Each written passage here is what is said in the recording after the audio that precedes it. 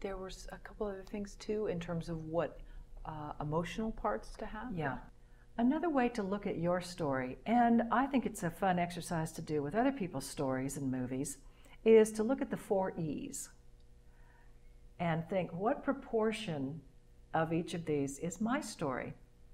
Entertainment, education, enlightenment, or personal expression. Uh, take, for instance, the Transformers films. Mostly entertainment. Okay, very little education.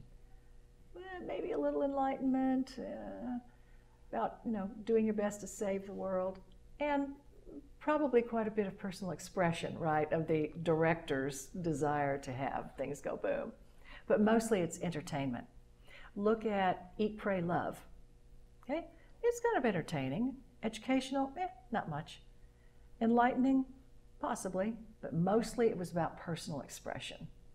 It was, you know, me, me, me. Look what I did. And, the, you know, a lot of people really enjoyed it. But it's an example of a story that's very much about personal expression. And most memoirs are. That's why we write them, because we want to express ourselves. But if you want to be sure that in your story you've also got some entertainment, or who's going to care? And if you can enlighten us a bit, raise up our awareness about something, you've, maybe you've got a cause, or you want to uh, promote a certain perspective on life, cool. And education, documentaries, of course, but uh, also letting us know something about something we did not know. Now, how does that apply to pitching?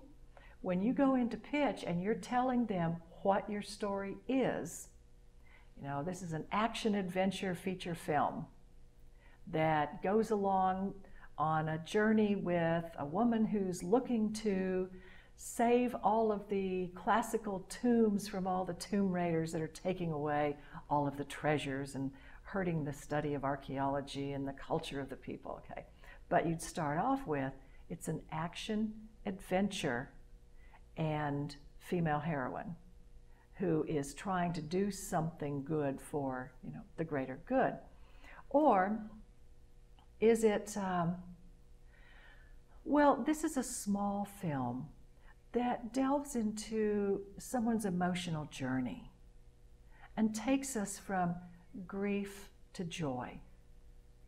Or this is a story that, let's say, something about education or enlightenment. This is a story about someone who discovers they are more than they thought they were, and they're able to bring that message to other people and help them rise up as well. So, yes, it's entertaining, but it's really inspirational. So, just give us a taste of that, and I don't even have to use those same words, but give us a taste of what your movie is going to be about or your TV series.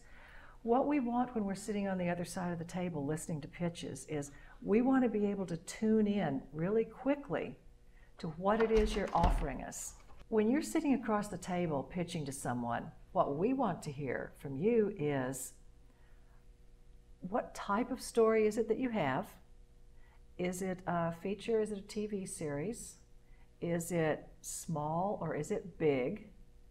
And give us a sense of, once again, that uh, sympathy, danger, salvation. You want us to tune in right away because if we go, you know what, we're really not doing period pieces, thank you anyway. Do you have something else? you let us know first before you get into taking the time to explain your story. And then three minutes in, we go, Oh, it's a period piece? Oh, I'm so sorry, we can't do those. So it's like striking that opening chord and telling us, giving us a sense of what we're going to be hearing next. And a sense of is it going to be more entertaining or is it enlightening and inspirational? Is it educational? You know, think how you would have pitched 12 Years a Slave. Okay? It's not very entertaining, but it's educational about a system that was going on at the time. It's enlightening because of the hope and the people who did help out and try to change the system. And it's personal expression in there too. So you, you start off that pitch with a totally different tone than you would pitching the next Transformers film. So just let us know that. Let, let the person you're pitching to get an idea very, very quickly. And, and most people who teach pitching have some really great ideas. There's a lot of people who have written books. Kathy Fong Yoneda has a wonderful book about pitching called The Script Selling Game.